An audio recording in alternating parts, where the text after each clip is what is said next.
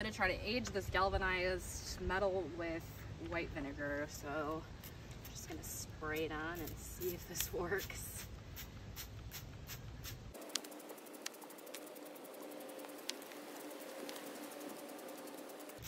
I also have no idea if I should be doing this in the sun or not, but I feel like I read somewhere that this should speed up the process.